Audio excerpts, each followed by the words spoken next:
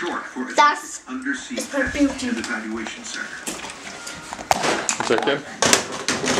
Uh-oh. during the Cold War, it was a British-American submarine testing facility. More recently, it's become known as the Navy's Area 51. Like its land-based counterpart, AUTEC is notorious as the site of alleged studies on extraterrestrials and UFOs, or in this case, USOs, unidentified submerged objects. There's been reports of lights coming out of this area. Lights coming up out of the water, globes under the water.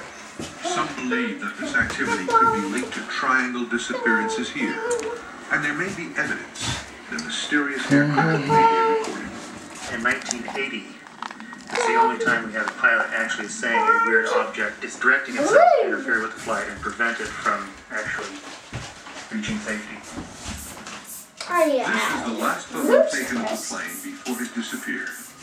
The man pictured, Jose Pagante Jimenez, was on board that day. This picture was taken a month before they vanished in 1980. It's one of the rare cases where we do have a mayday. These are the last words heard from pilot Jose Torres. They have never before been heard on television.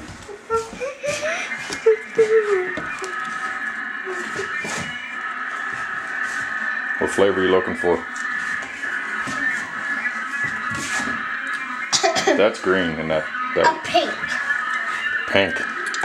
I don't have any pink. We gotta mix them up. Look.